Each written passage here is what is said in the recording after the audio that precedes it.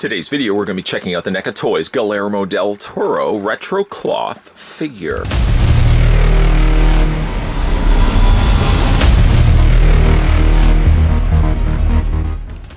Guillermo del Toro creates dark, beautiful movies infused with a visual poetry and speaks directly to the heart of the viewer. In conjunction with the launch of the Guillermo del Toro signature collection of action figures, NECA celebrates the visionary film director with his own figure.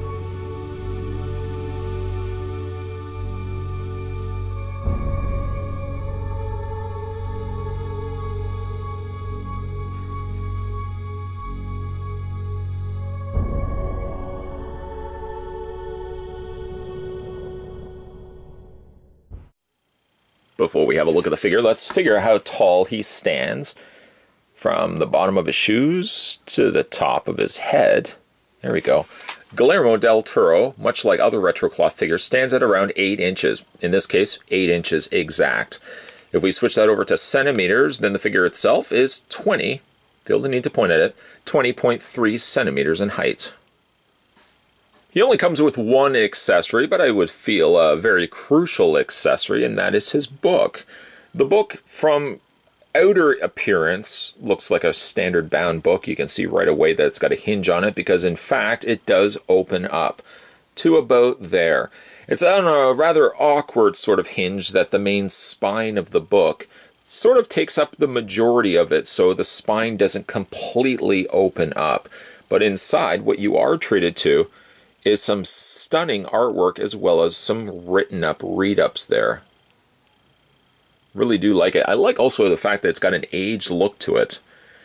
Now, I do find, now if you grab the figure here, he has two unique hands. One hand is specifically flat, while the other hand is more a gripping hand. There's a couple of different ways that you can go about doing this. Of course, the obvious one is you can just lay the book in his hand, which is sort of sort of boring. Or what you can do is open up the book and you can kind of slide it underneath his thumb like so. Almost as if he's reading, well, he's not quite reading the book like that, but almost as if he's about to read off a page in the book. The other way is that you can attach it on this hand, on the other hand, which involves some considerable stress, both you as the collector and the stress to his hand, to try to get it completely around the spine. I eventually just kind of gave up on the whole notion of it and instead just attached it to just underneath his thumb and his fingers. And he seems to hold the, the book perfectly fine. He would struggle, I think, a little bit more if you have him holding the book while it's closed, so I would definitely recommend keeping the book probably open. And this way, it does look like it's something that he's reading aloud. Let's go ahead and take that out of his hand, and we'll just put that to the side. For head sculpt, I think it definitely captures the look of Guillermo del Toro. Right, a very uncanny head sculpt. Now, this sort of falls into the, some of the problems that I have at times with retro cloth figures, and I say that more so than I say about 7-inch variety figures. They tend at times to have chalky face paint. No, not the fact that they are wearing face paint, but the paint that they use for the figure's head sculpt often at times, and it seems only to be with retro cloth figures, it often comes across either muddy or chalky. I feel in the case here of Guillermo del Toro, it's actually closer to being the second than the first. It's not muddy, but it does seem a little on the chalky side. And one of the common go-tos, seems, when it comes to overly chalky faces, is ever so often you'll see like these little scratches, just these out of nowhere. Why did they have to be there? These little kind of scratch, uh, scratched scuff marks. And unfortunately, it is there on the figure. Now, some of the previously looked at retro cloth figures that I've been disappointed with, for example, was the Billy from Silent Night, Deadly Night. And of course, the one, the Reanimator as well. I really didn't, I was not happy with how those two specifically turned out. I think the head sculpt here is actually much better.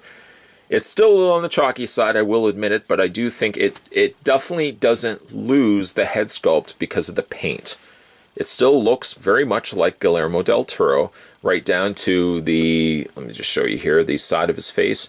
The glasses are, well, they do have a plastic lens to them, but luckily it doesn't impede the vision, or the, at the very least, the eyes that you can see behind it. You could theoretically, I suppose, take the glasses off. I really don't know Don't really know why you would want to. Uh, hair sculpt and beard are both sculpted quite well.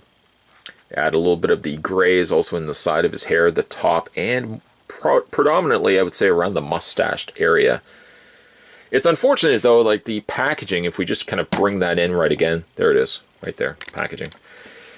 He's displayed with sort of the, uh, like the set pieces with him. I kind of wish, not at the very least, that he would have a full setup wall behind him, but that he could have at least come with maybe that little the little tombstone stone piece right there that you could display the figure with. It's almost as if perhaps that's what they were intended to go with initially.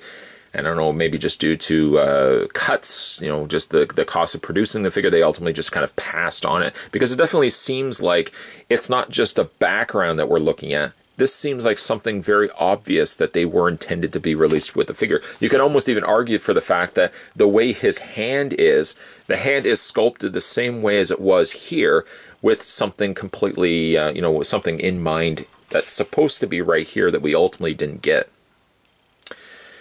We'll move this out of the way. As for his outfit, he is sporting a long jacket and v-neck sweater underneath there. These are much more padded figure than some of the previously looked at retro cloth figures. They, of course, had to fill him out a little bit, and there's some extra much needed padding in there.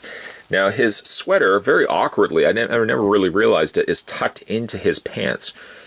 Um, I, I, suppose you could loosen it and, and, pull the sweatering out. I don't think it's actually attached to anything. I don't, again, really understand why you would really need to.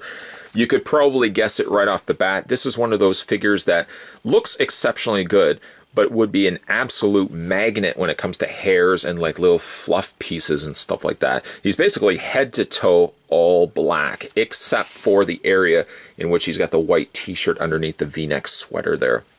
The tailoring is pretty good on both the jacket, the the sweater, and of the uh, the pants there. It's funny though that the pants, if we if I just kind of tighten up the pants, he's still got the rather thin legs. So while they did support some extra padding here, they didn't put padding here. Instead, favored just having wider pant legs to make him look as if he's still big down here, which he really he really actually isn't.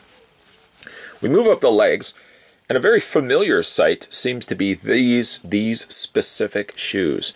I see I've seen these shoes on many different retro cloth figures. Here in this case, it's in a shinier black plastic, and they've varied from figure to figure. I'm sure certain as well. These boots have also made appearances with Freddy Krueger's and possibly Jason Voorhees retro cloth figures as well. Sadly, still no peg holes on the undersides of their feet. Sadly, in this instance, another case in which the figure doesn't have ball joints. The figure, I think, really should have afforded having some ball joints as something that they could potentially go the route of going down the road. Because really, I still find with certain retro cloth figures, primarily, most of them actually, they still have an issue when it comes to standing. Their feet just don't seem flat or as flat as they should be. Ironically enough, for Guillermo del Toro, he's a little bit of a bigger figure, if you will. Somehow, I guess the added padding has somehow stabilized this figure that he doesn't seem to have as much the issues of standing straight up like other retro cloth figures have had. Even though, primarily, if you were to remove his article of clothing, the padding and all that extra stuff, what you would be treated with underneath all that would be a standard retro cloth body. And yet, ironically enough, he stands perfectly fine. Posability on this guy, his head rotates all the way around. He theoretically does have a ball joint, but there's between how far down his neck goes, or the under area of his chin goes, and how far up his outfit goes, there really doesn't afford much moving up and down of the head. You can't really move it side to side either, so instead you're sort of relegated to just having the head swiveling all the way around. The shoulders hinge outward. It's a little awkward on looking at it because this part here is padded. The shoulder doesn't technically start till about till about there. So when you are moving the arms out, they seem like they move out in an area where the shoulders should be slightly further up. Uh, the arms move forward and back. He's got a bend at the elbow. He has a rotation in the hand. Uh, not really much in the way of waist swivel because so much of this is being occupied by additional padding. To even get in there can be a bit of a difficulty. But I suppose he does have the waist swivel, legs split out, forward and back, bend at the knee, and he's got just a standard swivel, just a standard hinge joint on the foot. That's about all you can really get out of him. Like the figure. I do certainly like the figure. It's nice that a figure or a character, a real character, uh, such as Guillermo del Toro, uh, best, of course, known for directing some fantastic films, finally sees light of day in plastic form. It would be really neat if NECA would continue this trend with other big creators, both in front of the camera, behind the camera, and those who do all the magic behind the scenes. Now, this, of course, ties in the conjunction with the launch of the Guillermo del Toro signature collection of action figures that we're going to be getting from NECA Toys, and I'm really excited for that. But I have to commend NECA for the fact that they would have released a plastic retro cloth figure of visionary director Guillermo del Toro. This means that when we do eventually get the Guillermo del Toro collection, it means we can put the visionary director along with some of his creations, and I really do like that idea.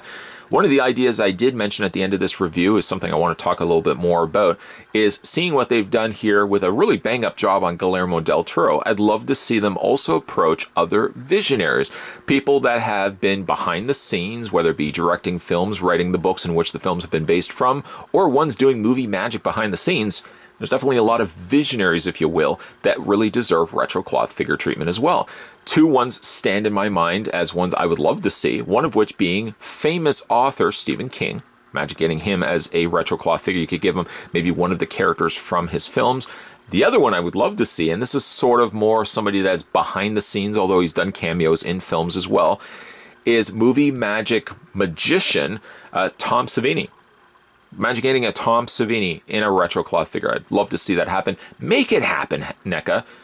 I think Tom Savini deserves a retro cloth figure. That's just my own opinion.